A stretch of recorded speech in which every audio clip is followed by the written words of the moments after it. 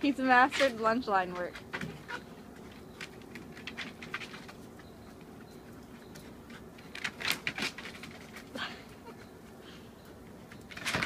we should we need to teach him to go both ways so he doesn't get one-sided.